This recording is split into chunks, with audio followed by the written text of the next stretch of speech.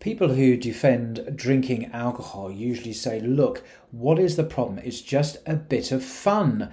It's pretty harmless. Yeah, there are a few people who might abuse it, but the vast majority of people don't. So it's not that big a deal, really. Well, uh, there's an article in today's London Times uh, entitled Our Addiction to Alcohol Isn't a Bit of Fun. It says drink kills nearly twice as many Britons as drugs and yet we still delude ourselves it's a harmless part of our culture. The article is written by David Aaronovitch, and as I say, it's in today's, Wednesday's, the 4th of August, Times, published at 5 pm. I'll read a few parts of it because I think it's very interesting, and then bring in uh, a few interesting comments from the Quran actually on this subject. He begins Imagine this week the Office for National Statistics released figures for deaths from drug overdoses in England and Wales for 2020.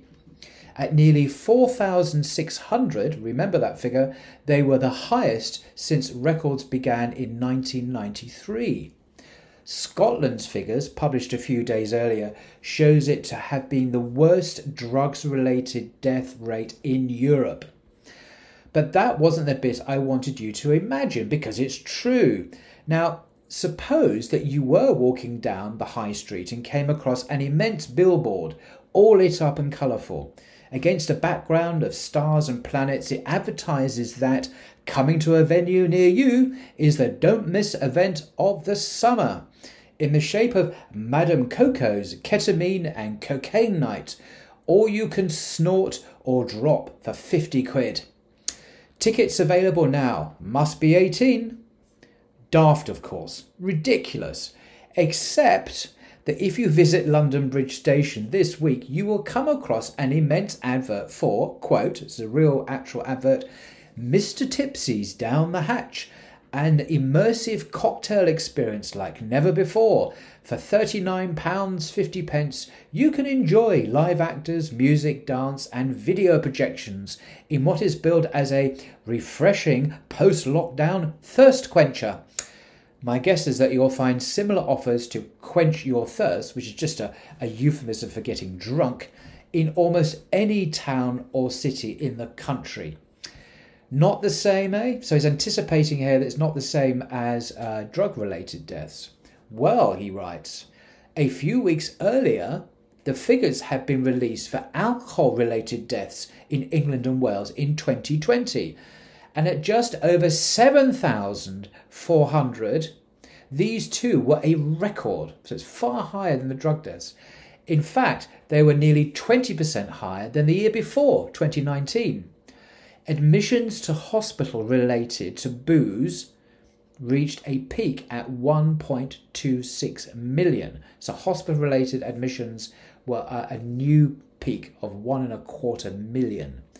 Taking England alone, it's estimated that heavy drinkers cost the NHS up to 3.5 billion pounds a year. Extraordinary figure. And this is particularly tragic, the next figure. Nearly 40% of reported incidents of violence in 2018 were perpetuated by people said by their victims to be inebriated. So they were drunk.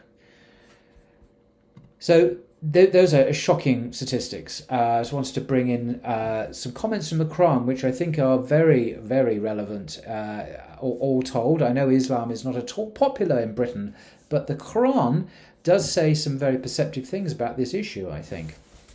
Uh, I'm going to read from Abdel Haleem's translation, chapter five, verse ninety, which reads, "You who believe." Intoxicants and gambling, idolatrous practices, and divining with arrows are repugnant acts, Satan's doing. Shun them so that you may prosper. With intoxicants and gambling, Satan seeks only to incite enmity and hatred among you, and to stop you remembering God and prayer. Will you not give them up? Now, there's some interesting points here I just wanted to highlight. First, intoxicants means any substance, drugs, alcohol, whatever, that can uh, basically mess with your brain and give you a high. So, but alcohol's obviously included. But one of the things that alcohol does, or intoxicants do, uh, with the aid of Satan, is to incite enmity and hatred among you. And the statistic in that uh, article 40%, reportedly 40% of victims of violence uh, are victims of perpetuators who are drunk. So hatred and enmity is clearly there. There's something going on with alcohol there, and Satan who's uh, causing people uh, to be violent. Also, they stop you remembering God and prayer. So, obviously, if you're drunk or intoxicated, you cannot remember God and prayer. Your mind is so messed up. And then, what is the solution to this uh, unholy intoxicant? It is, will you not give them up? Shun them, it says. Shun them so that you may prosper. Prosper, I suppose, in a very general sense of, of existential well being and spiritual riches with God. But of course, if you're drinking heavily, it's well known that you will your, your wealth will dissipate and you'll need to borrow more money to uh, finance uh, an, an expensive habit. So the Quran is very clear. The solution to this problem is to stop alcohol drinking, stop taking intoxicants. The enormity of this problem is not just a few people who can't handle it, it's billions of pounds in cost to the NHS. Nearly half of people who are the victims of violence are victims of people who are drunk. These are terrible statistics. And alcohol, if it was invented today, I'm pretty sure, would be immediately classed as a class A drug and would be banned. But because of cultural reasons and other reasons, it's legal to consume alcohol. Uh, whereas hard other drugs, because it is a drug, uh, other drugs like cocaine and so on are illegal. Alcohol is a drug as, as they are a drug. They're highly addictive and they kill people, they destroy lives. They, they cause enmity and hatred. Satan takes advantage of this. The solution from God, according to the Quran, is stop it. Just don't deal with it anymore.